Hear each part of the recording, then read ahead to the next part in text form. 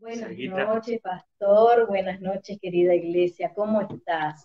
Lo que tengo para compartirte está en el libro de Josué. El libro de Josué, en capítulo 3, en el versículo 13, es un, un pasaje muy conocido. Y este versículo dice así, iglesia. Cuando la planta de los pies de los sacerdotes toquen el agua, las aguas se detendrán. ¿Qué me hablaba Dios en este tiempo? No es tiempo para estar esperando nada, es tiempo para avanzar, para avanzar con fe.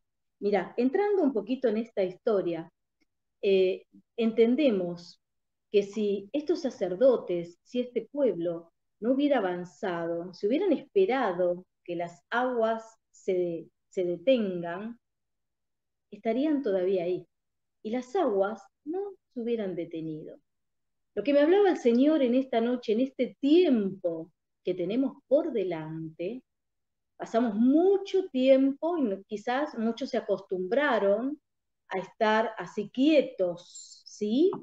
Y, Dios me hablaba esto, mira qué interesante. Esta gente, este pueblo, los sacerdotes, tenían delante un desafío.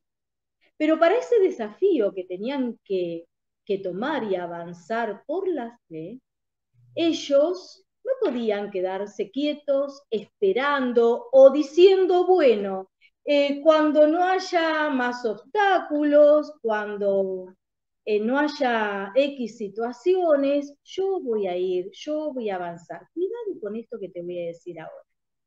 Porque entramos en un tiempo nuevo, un tiempo diferente, un tiempo eh, de un desafío para nosotros como iglesia, ¿a qué? Como nos dice siempre el pastor, a prepararnos antes, ¿sí? A reacomodar todas las cosas, a tener que ponernos lindos, a tener que viajar hasta llegar e ir a la casa del Señor.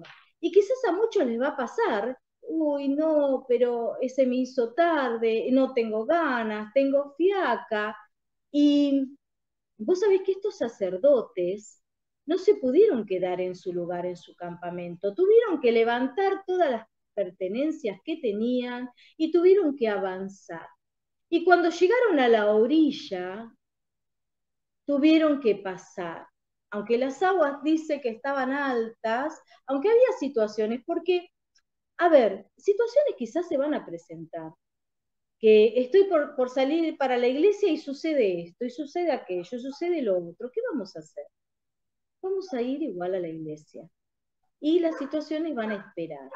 Cuando volvemos no van a estar o nos están esperando y las resolvemos al llegar a casa de nuevo. Porque viene un tiempo nuevo, un tiempo diferente y un tiempo de toma de decisiones también. En cada reunión, esto me hablaba el Señor, cada reunión, querida iglesia, vas a tener que tomar una decisión. Comenzar a prepararte antes, estar a tiempo, llegar a tiempo a la casa del Señor, estar ahí en toda la reunión. O sea, vamos a tener que tomar decisiones y vamos a tener que volver a gustar de estar todos juntos, como dice la palabra, recibiendo la bendición que viene de parte del Señor. Vamos a sacudir el polvo, ¿sí? Que tenemos ahí en los pies, de estar ahí quietos y sentados, ese acostumbramiento que quizás estabas teniendo, y comenzar a ponernos de pie, a movernos y a decir a nuestro cuerpo, vamos a la casa del Señor y decirle a tu familia, vamos a la casa de Dios, ¿sí? No nos acostumbremos porque todo tiene su tiempo, dice el libro de Eclesiastés.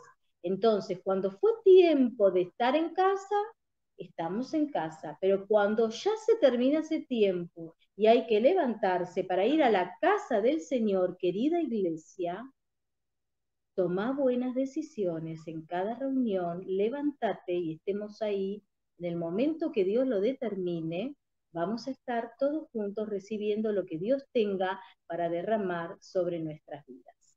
Así que Desde acá, hoy desde casa, te mando un abrazo grande, los quiero, los bendigo y como les digo siempre, iglesia, muy pronto vamos a estar todos juntos adorando al Señor en su casa.